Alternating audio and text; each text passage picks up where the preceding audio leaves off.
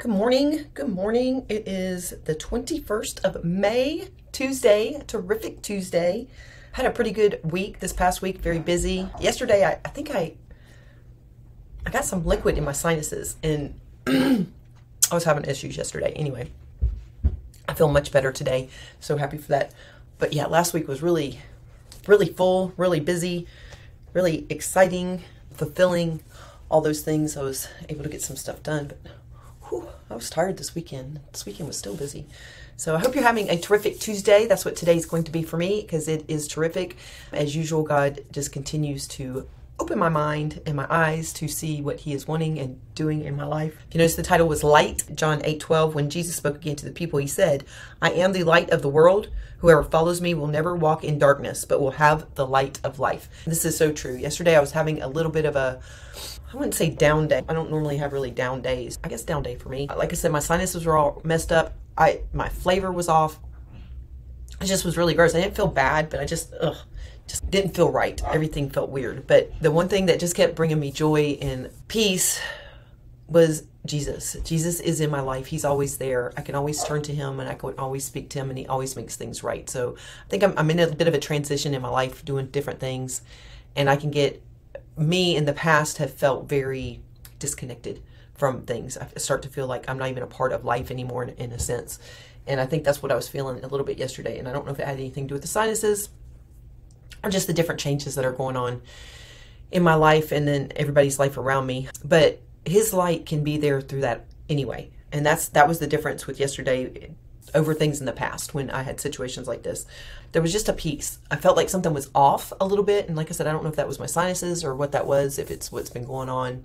There's been a lot of strife among my family and my friends, just people talking about each other. And in the past, I would listen to it. I listen in the sense that I want to be there for them and to help them.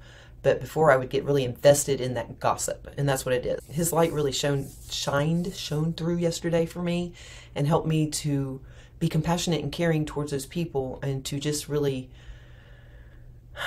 be there for them, but not let that affect me. Because I think a lot of times I was reading Proverbs um, 21, 28 today, and how many of us listen to a liar? Because it talks about, I don't remember the exact verbiage, but uh, a liar, they're just a liar. Don't listen to them. But there's so many times when things are going on and someone will come along that is a liar and they will speak words to feed the fuel that we're already feeling because we don't stop and give it to God. And then we believe their lie. But we know this person's a liar. So we need to remember that when we're listening to different people, especially people that are talking about other people, that are gossiping about other people, that are just not being very nice. Why are they saying that?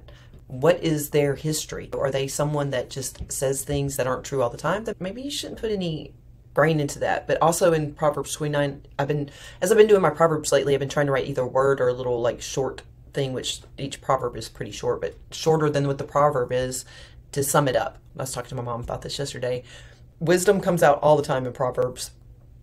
Self control comes out a lot discernment comes out a lot. And I think that's where we need to focus on our discernment and to keep Jesus's light in our life. Don't allow that darkness that's coming. The devil uses things, man. He's sitting there, he's using these words, he's using this person that says things all the time, and you don't hate that person. I'm not saying that. I'm just saying you need to, when people are bringing stuff to you that is stirring up and breaking that peace, that's the other word that appears in Proverbs a lot. Be peaceful, of peace, be at peace, be discerning don't listen to what everybody says. Know that we are to created to be peaceful. We're created to love one another and not to continue to believe in the strife and allow the devil to work on us. So I, I said, let the Lord's light shine through you. Remember, no matter what's going on, how you're feeling, that He is the light and He's with you and He will never leave you. He's always beside you, even in those times when you're walking through fire or things are hard. If you're sick, if there's a death, if there's an employment, if there's financial strain, there's so many things in the world that can bring us grief and we make it to be our world where we need to remember to make Jesus our world. So I hope that helps you to have a terrific Tuesday. I'm going to go I'm going to do a few things this morning, then I'm going to go groom me some crazy dogs and then go walk with my ladies today, which I look forward to that every Tuesday. I am down more poundage. I'm excited about that. I did not have a lot of weight to lose. I think you might have seen some of my posts if you have, but I did 20, 25 pounds I need to lose. And I've heard some people have told me that they didn't feel like I had that to lose, but I'm pretty heavy. All my clothes are getting tight. I was already in a size I didn't want to be in. They're not tight anymore. and maybe I can get down to that size I was before, which is the size that I like. And that's what I'm looking forward to.